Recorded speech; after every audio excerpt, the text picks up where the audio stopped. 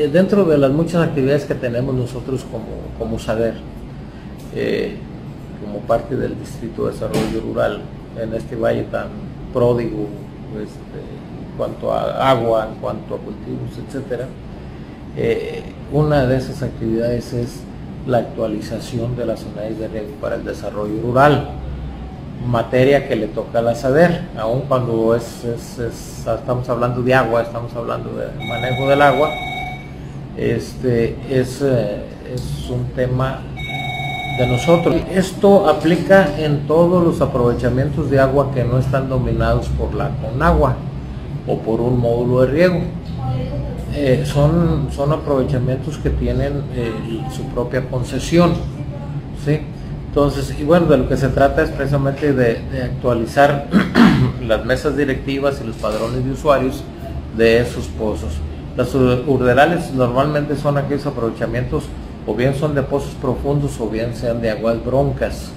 ¿sí? Este, y, se trata de actualizar las directivas, los padrones.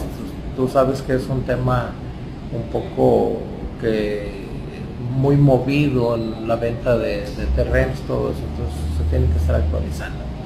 Y la duración de, las directivas de estas urderales son tres años.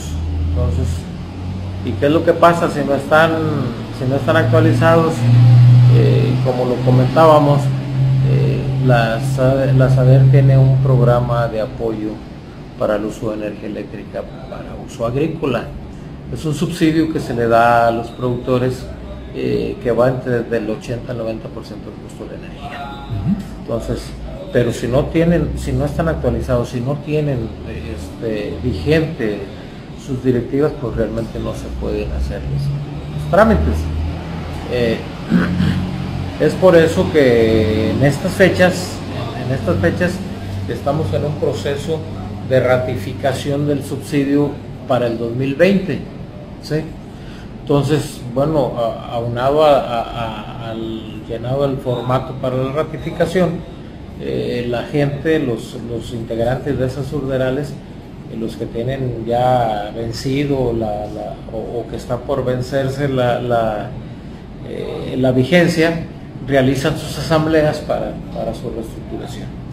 Entonces, eh, esa, esa, realización de la asamblea se hacen a través de los CADES y dentro de toda esa documentación que, se levanta, eh, vienen unas o, algunos documentos que tiene que validar la jefatura de distrito de desarrollo rural y tiene que validar la jefatura de distrito de Conagua.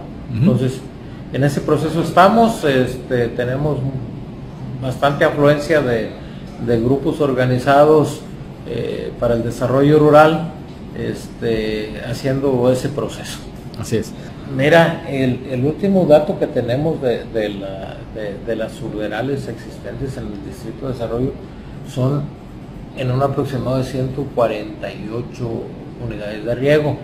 Sí, este, algunas eh, pues ya eh, las menos son, son este, grupos pues que se han ido, gente ha ido comprando los predios y todo eso y ya se, vuelven este, unipersonales, ¿no?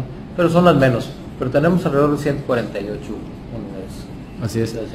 Sí, aprovecho para, para este, invitar a la gente que está en este supuesto de, que son parte de un orderal eh, a actualizar en caso de que, de que así se requiera actualizar este, su padrón y la directiva. Para esto tienen que acudir a los CADES.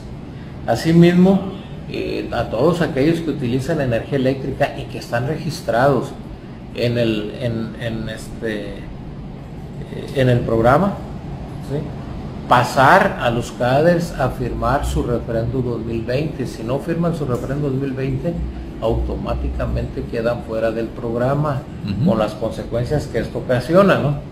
Pero también invito a todos aquellos productores eh, que son parte de los módulos de riego y que también hacen uso de, la energía eléctrica para bombear agua, que pasen a sus CADES también al, para firmar su referéndum para el 2020, porque igual este, pasaría lo mismo, ¿no? Eh, tenemos este mes para, para, hacer ese procedimiento Y también comentar que la inscripción al programa este, de apoyo para el uso de energía eléctrica para uso agrícola está abierto todo el año. Pero para el referendo nada más estamos en el mes de noviembre este, abiertos para que pase el productor, debe traer su último recibo de, pago de agua, su credencial y firmar el referendo. Así es. Salvo que haya algunos cambios, bueno, pues los documentos que valen. Para el otorgamiento del apoyo, este, uno de los requisitos y además para la integración del orderal, uno de los requisitos es la concesión del agua, de la Comisión Nacional del Agua. este, esa concesión tiene una vigencia la mayoría de la gente que tiene concesión eh, sabe, pero a veces, como son vigencias de 10 años, 20 años, entonces pues se van en el tiempo, ¿no? Entonces, y la misma concesión, el mismo documento dice que deben de, iniciar los trámites para la prórroga porque ya no te dan otra concesión. Anteriormente daban concesiones cada que se vencía. Ahora lo que dan es una prórroga de la misma concesión dice que debe de iniciar los trámites cinco años antes de que se venza la concesión. Entonces, aquí la, invitación o la sugerencia a, la gente que tiene este tipo de documentos es que estén muy al pendiente de, este documento, de todos los documentos, porque en caso de que su concesión esté vencida, pues no pueden ser sujetos del apoyo al programa.